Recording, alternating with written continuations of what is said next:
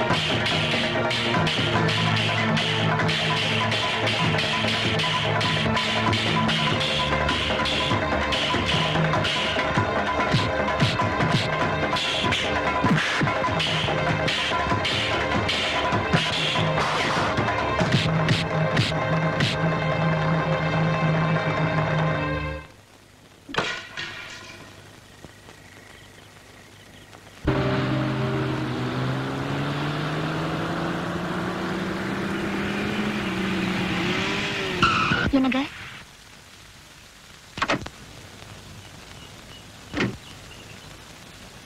நமஸ்காரங்க. நமஸ்காரம்மா. உங்க மகனை புரிஞ்சுக்காம நான் அவர்கிட்ட தப்பா நடந்துகிட்டேன். மகனா? அதாங்க மிஸ்டர் சின்னமணி. அவர்கிட்ட என்ன மன்னிச்சுக்க சொல்லுங்க. வரேன் அஹ், என்னங்க? நீங்களும் பார்த்தா அவர்கிட்ட ஒரு வார்த்தை சொல்லுங்க. வரேங்க. வாடா போலாம். சட்டம் போற வேலையை பார்த்துட்டு. இதை இவரு புறம் போய் சொல்லணும். வள்ளி?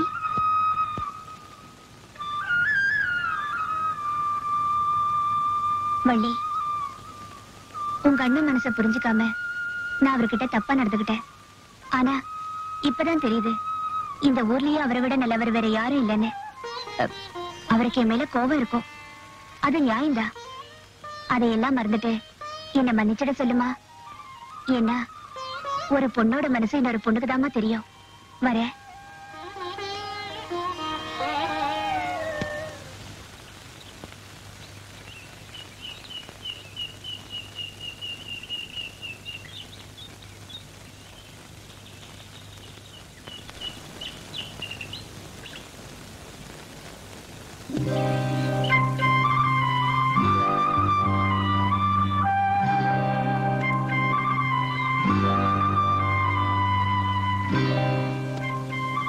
எதுக்காக எல்லாருக்கிட்டையும் உன்னை மன்னிச்சிருன்னு சொல்ல சொன்ன?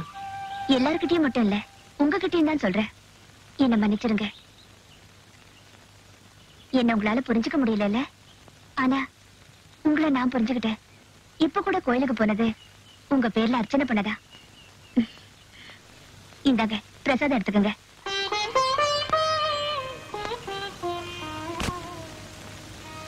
மனப்பூர்வமா உங்களுக்கு என்ன பிடிக்கலன்னா இந்த பிரசாதத்தை எடுத்துக்க வேண்டாம்.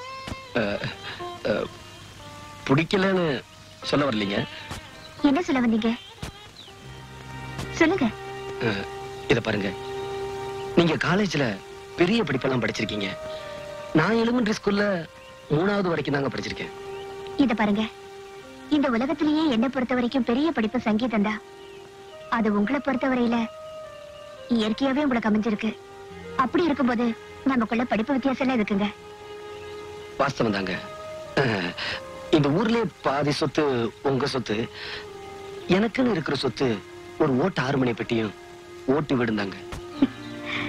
ஒரு ஆம்பளைக்கு சொத்தே வீரந்தா அதுல உங்களை மிஞ்சறதுக்கு இந்த ஊர்ல வேற யாரும் இல்ல. நீங்க இவ்வளவு தூரம் சொன்னதுக்கு அப்புறம் நான் சொல்றதையும் தெரிஞ்சுக்குங்க. நான் அம்மா அப்பா இல்லாத ஒரு அனாதை. இத பாருங்க நான் உயிரோடு இருக்கும்போது இன்னொரு தடவை தயவு செஞ்சு இந்த வார்த்தையை சொல்லாதீங்க.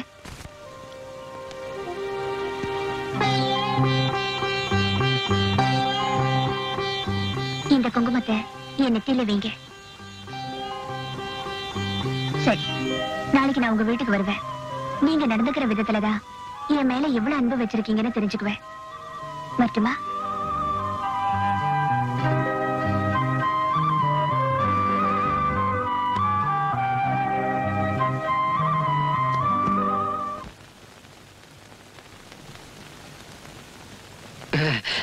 என்னண்ணே என்னாச்சு? இரு.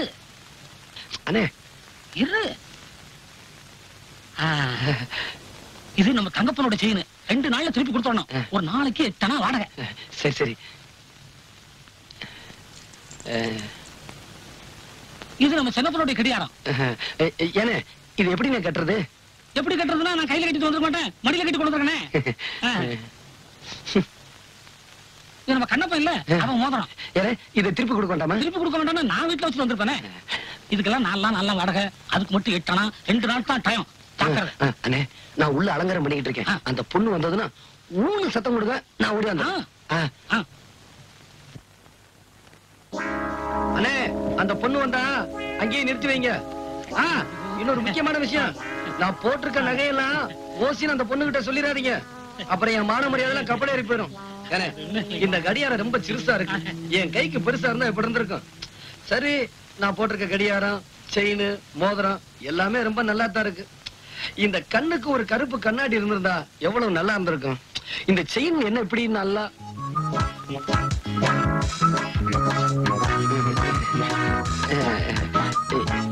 இங்க எங்க அண்ணனை நிக்க வச்சனே. அவங்களுக்கு எல்லாம் தெரிஞ்சு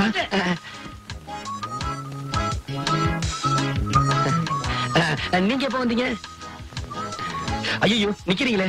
வாங்க. வாங்க.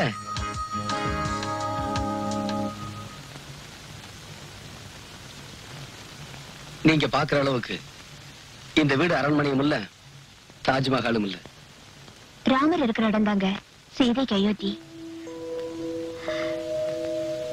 ஏங்க வீட்டுக்கு வந்தவங்கள உட்கார சொல்ல மாட்டீங்களா? மன்னிச்சுங்க உங்களை பார்த்ததுல மறந்துட்டேன். உட்காருங்க. ஆ, என்னங்க?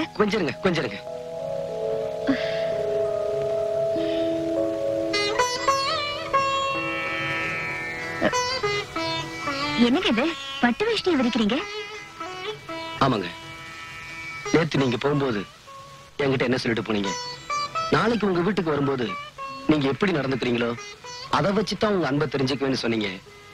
இந்த சின்ன மணியானால இந்த பட்டு வேஷ்டில தாங்க உங்களை உட்கார வைக்க முடிஞ்சது. உட்காருங்க.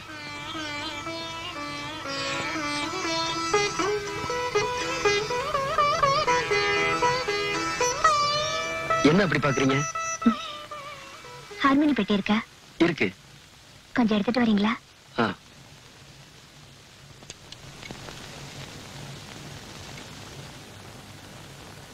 உட்காருங்க.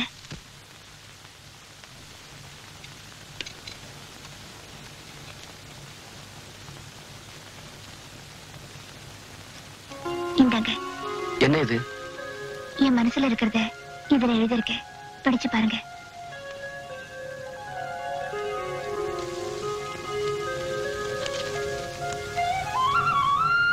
பூவை எடுத்து ஒரு மாலை தொடுத்து வச்சேனே என் சின்ன ராசா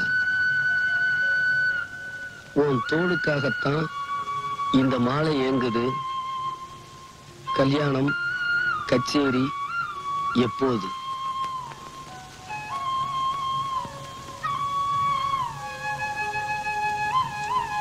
இதை நீங்க பாடணும். அதை நான் கேட்கணும்.